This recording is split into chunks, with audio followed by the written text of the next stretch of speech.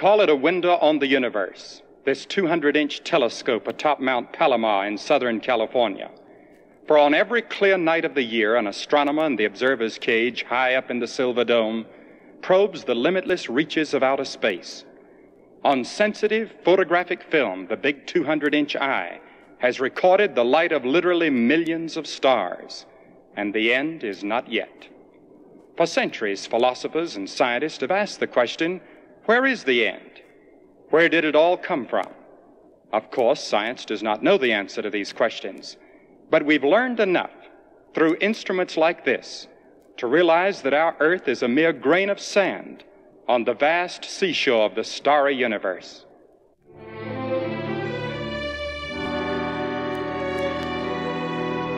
Out beyond the familiar constellations that dot our night sky, and beyond the distant star clouds and clusters of the Milky Way, which is the edge of our own galaxy, are other galaxies, island universes so far from us their light has taken millions of years, traveling at the speed of 670 million miles an hour to reach us. Within the range of our present telescopes are 100 million of these galaxies, each made up of billions of stars. These giant systems are rushing away from us at fantastic speeds. In fact, the more distant the galaxy, the faster it is moving. Many astronomers believe that all these galaxies are the same age and that they all started from the same place at the same time. As Lincoln Barnett, the gifted author of the bestseller The Universe and Dr. Einstein, writes, all the clues of science point to a time of creation when the cosmic fires were ignited and the vast pageant of the present universe was brought into being. The Bible says, In the beginning, God created the heavens and the earth. The Bible never tries to prove the existence of God, it assumes it. The problem is, too often man tries to subject God to the analysis of the laboratory. But we cannot put God in a test tube and say, Here is God any more than you can put a mother's love in a test tube and say, this is a mother's love. Of course, the evidences of God are all about us. At Palomar, we probe the limitless reaches of the starry universe. And with the microscope, we can see a universe just as inscrutable, but so small that our most powerful instruments can only scratch the surface. To the naked eye, a drop of pond water often contains minute particles moving about. Under a microscope, the particles become living organisms, the world of the protozoa. It doesn't take long to reach the limits of the optical microscope. About a hundred diameters will do it. But then we must turn to the electron microscope. A beam of electrons similar to the one that gives you a picture on your television tube allows us to study objects two billionths of an inch in diameter, magnifying a specimen up to one million times. From the human body, a tiny bit of heart muscle, vital in the task of pumping man's blood supply. Rods and cones in the retina of the human eye. A few of the more than 100 million rods and 6 million cones that convey light images to the optic nerve another marvel of the human body's design and operation. What more eloquent evidence of the Creator's hand? No wonder many of our scientists say there must be a God. But there are other evidences of God's existence, even stronger than the universe in which we live. For example, there's the conscience within every man, a warning light that flashes when we do wrong. Who put this voice within man to warn him of moral danger? Philosophers and even politicians discuss what is moral and what is not moral. Where did this sense of morality originate? We know it is wrong to murder, but how do we know it is wrong? It is the God given voice of conscience within. Having accepted the fact of God, the next question we ask is, what kind of a person is he? We've already seen evidence that he's a God of order, design, and perfection. But when we pick up the Bible, we discover that God is much more. The Bible teaches that He is a God of righteousness and holiness. The Bible teaches that He is a God of judgment, that He is so pure that no impurity can stand in His presence. But more, the Bible teaches that God is love. And it is because God is love that he created the human race.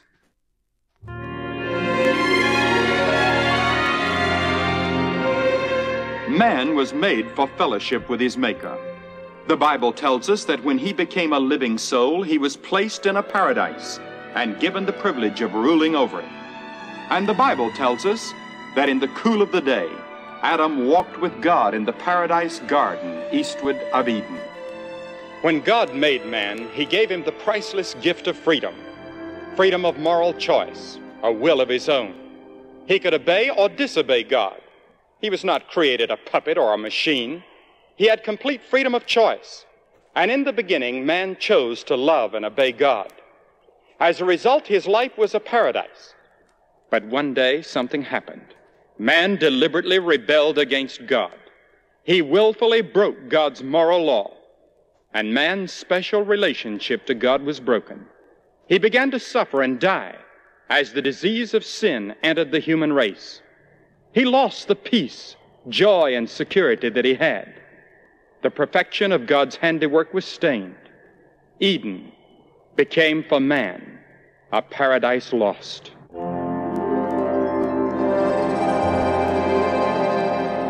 Springing from the ground like a crystal clear spring, Intended to be a river running through pleasant and productive pastures, man chose to take a course that plunged down from the sunny heights. Dashing against rocks and churning between deep sunless cliffs, all generations yet unborn plunged downward with Adam, infected by the disease of sin. And as God had warned Adam, the penalty of sin is suffering and death. The story of the river is the story of man since Adam. Though we lift our voices and cry for help, still we choose deliberately as Adam did, the wrong way. As Winston Churchill once said, man has improved himself every way except morally. We've resorted to every means to regain paradise.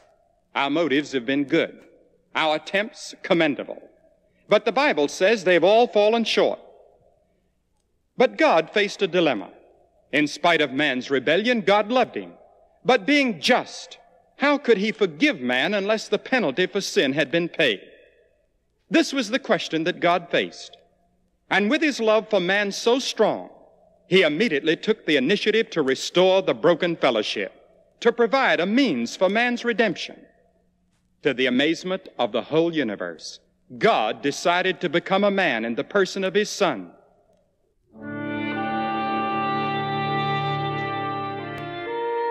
Shepherds in the fields, keeping watch over their flocks, were the first to hear the angelic announcement I bring you good tidings of great joy, which shall be to all people.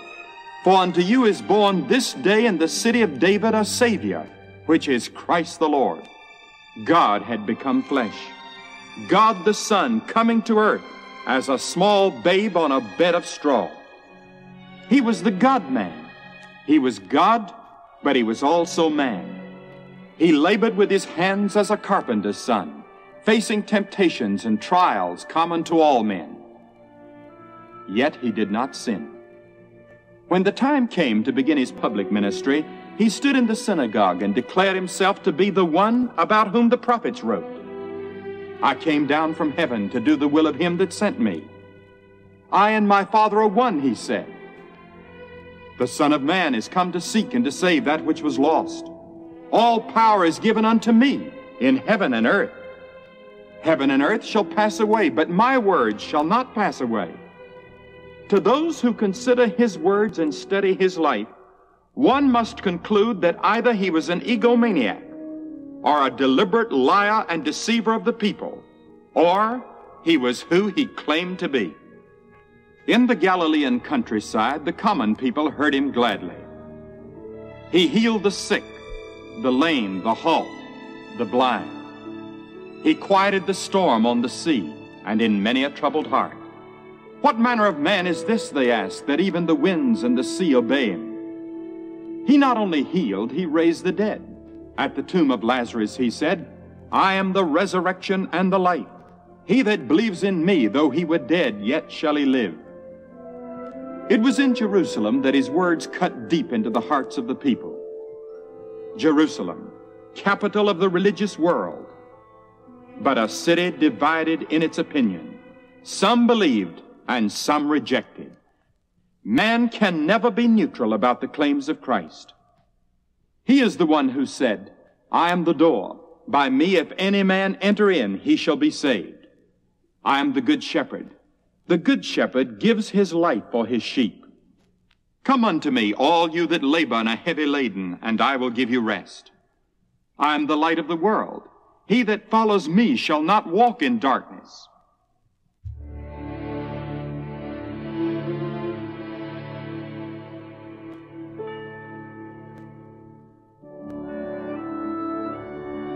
The true purpose of the coming of Jesus Christ was not just to heal and teach. His primary purpose was to redeem.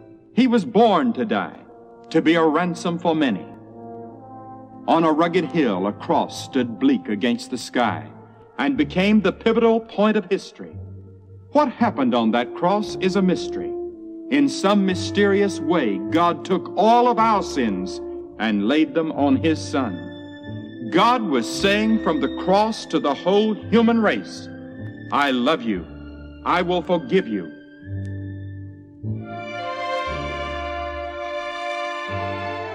On the morning of the third day after he was crucified, three women went to his tomb to anoint the body with spices. They were the first to hear the most dramatic announcement the human ear has ever heard. He is not here. He is risen. I am he that lives and was dead, Christ said. I am alive forevermore, and because I live, you shall live also. For the first time since sin entered the human race, there was hope for mankind.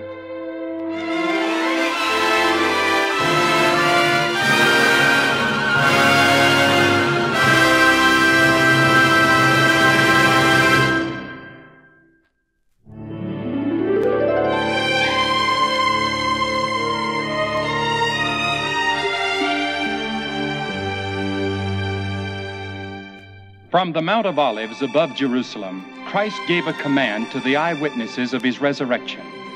Go ye into all the world and preach the gospel to every creature, he said. What gospel? The word gospel means good news. Good news that God loves man, that sin has been atoned, that Christ is alive, that God will forgive sin, that God will give new life to all that believe. But those early followers of Christ, as he stood on the mountain just before he ascended into heaven, received another burning message. The Bible says that two messengers from heaven appeared and said to the disciples, This same Jesus, which is taken up from you into heaven, shall so come in like manner as ye have seen him go into heaven. If the Bible teaches anything, it teaches that Jesus Christ is coming to earth again and that history is headed toward a dramatic climax. When Christ prayed that prayer, Thy kingdom come, Thy will be done on earth as it is in heaven, he knew that that prayer would ultimately be answered. He knew that God's kingdom would prevail someday. Yes, there is coming a worldwide peace, but not through the efforts of man alone, but by the authority and power of the Christ who ascended from this spot 2,000 years ago.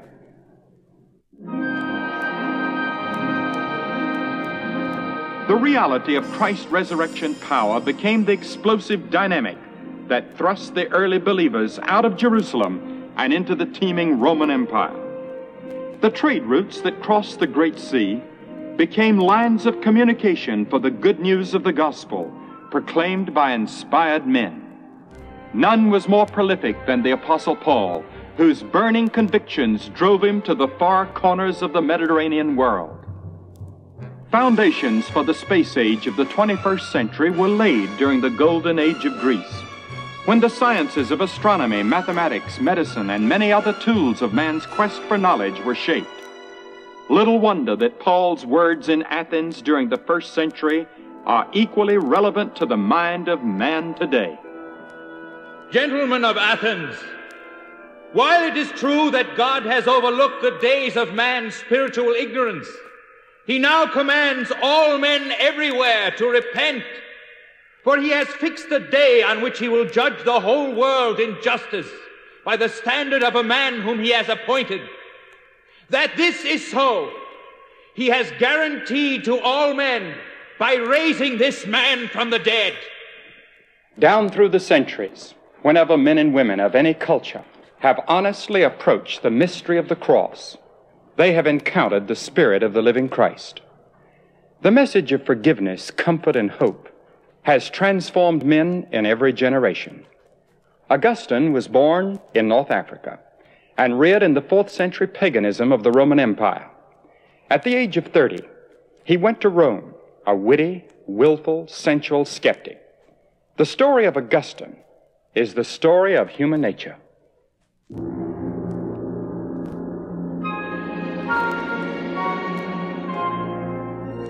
I sought a way of obtaining strength sufficient to enjoy God, and found it not, until I embraced that mediator betwixt God and men, the man Christ Jesus.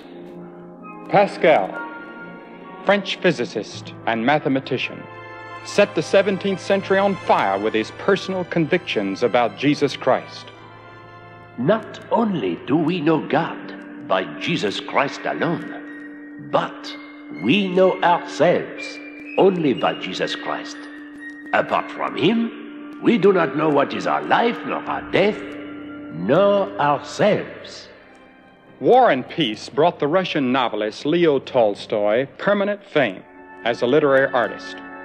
Shortly before completing Anna Karenina, he entered a period of profound searching as to the purpose of life, a search that led him to Christ.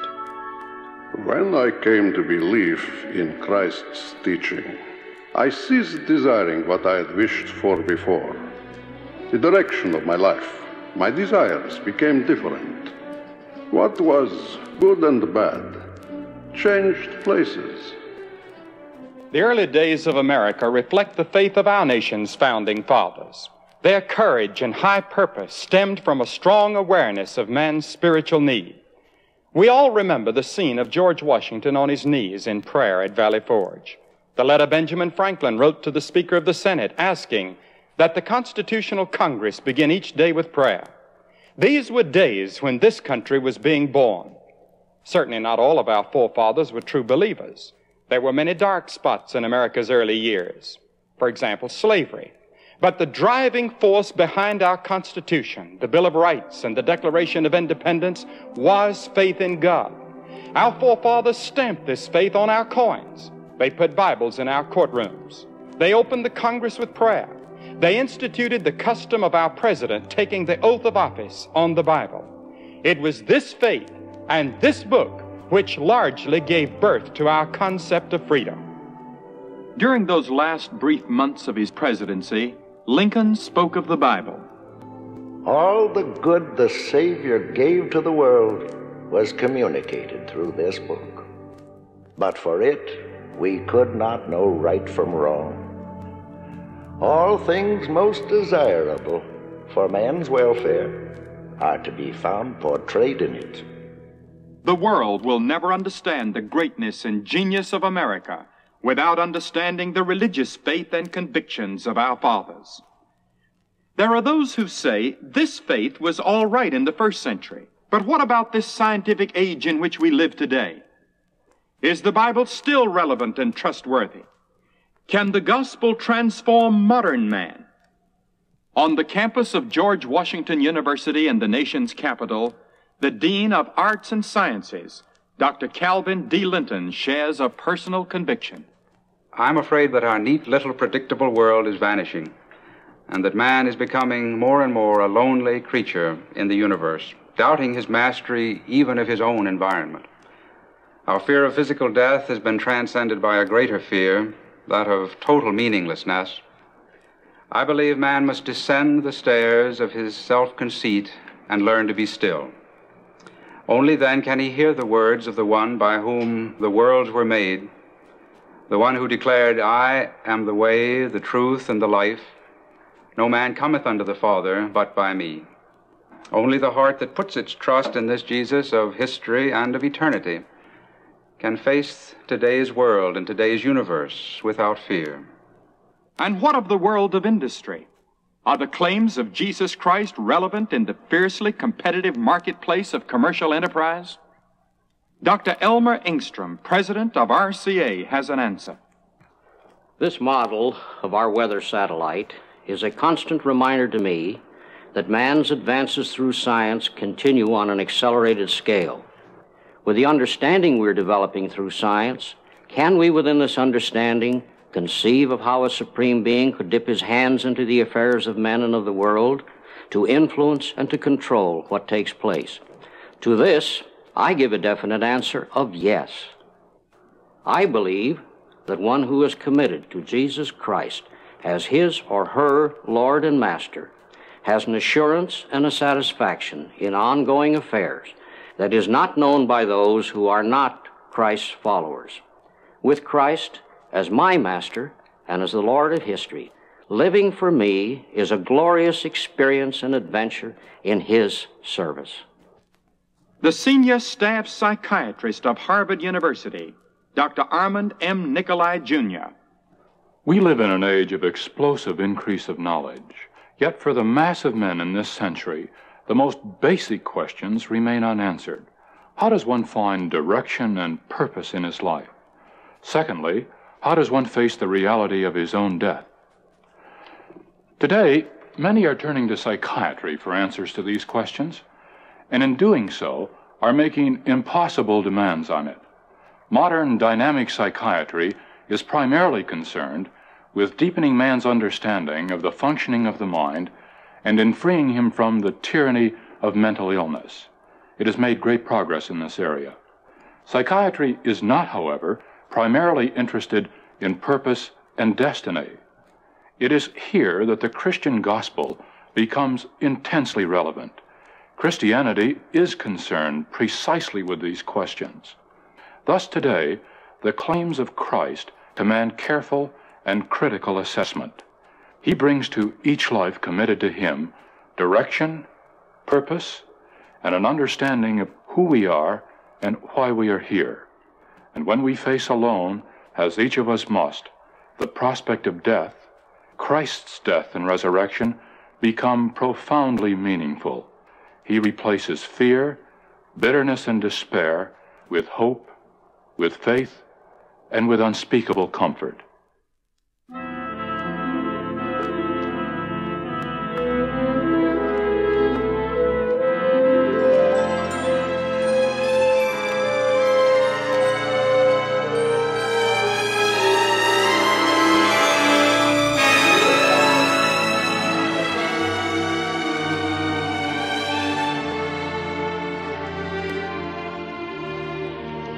Like a temple in ruins, its beauty destroyed by the ravages of nature, man waits and yearns for his paradise lost to be regained.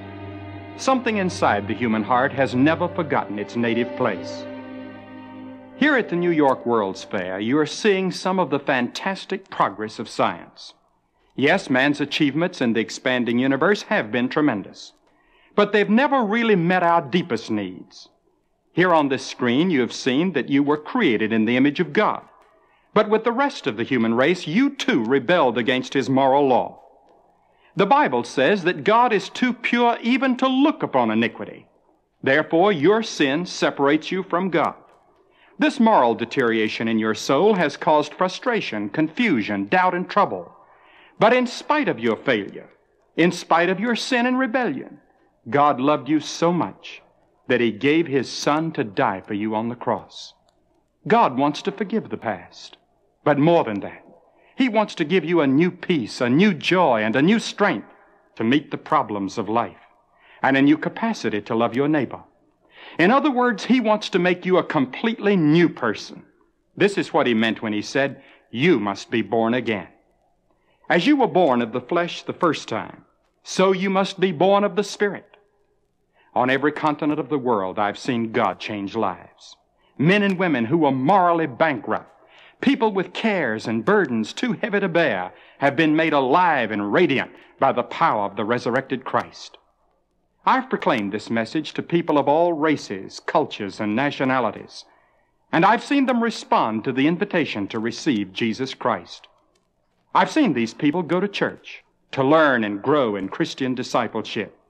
I've seen men become involved in the society in which they live with a new purpose and a whole new dimension of life. This could happen to you. How could it happen to you? Jesus said, Except you be converted and become as little children, you shall not enter into the kingdom of heaven. You must come to Christ with the trust and simplicity of a child. First, you must be willing to repent of sin. Repentance means that you change your mind about God and your relationship to Him. Repentance involves also a willingness to change your whole pattern of living. Notice I said a willingness. You may not have the strength or the ability to repent, but if you're willing, God will help you to repent. Secondly, you must turn to Christ by simple faith and accept Him as your Lord and Savior. Notice again, I said by faith. If you wait until you can understand it all, you will never come. It must be a step of faith. It's like receiving a gift, the gift of pardon for the past and a new life for the future. Many of you have come with an emptiness and a restlessness in your heart and soul. Intellectually, some of you are not certain about the purpose and meaning of life. You've never really committed yourself to any great cause or purpose. You long to have something to believe in, a flag to follow, and a song to sing. Why not commit your life to Jesus Christ and let His love and authority dominate your life? Others of you have been suffering from a sense of guilt. You would like to wake up tomorrow morning with a sense of forgiveness, to know that all the failure and sin of the past is completely gone, to have an exhilaration that only God can give to a person. This tremendous change in your life could take place right here and now. A commitment to Christ is only the first step, but it's a necessary step if you are to enter the kingdom of God.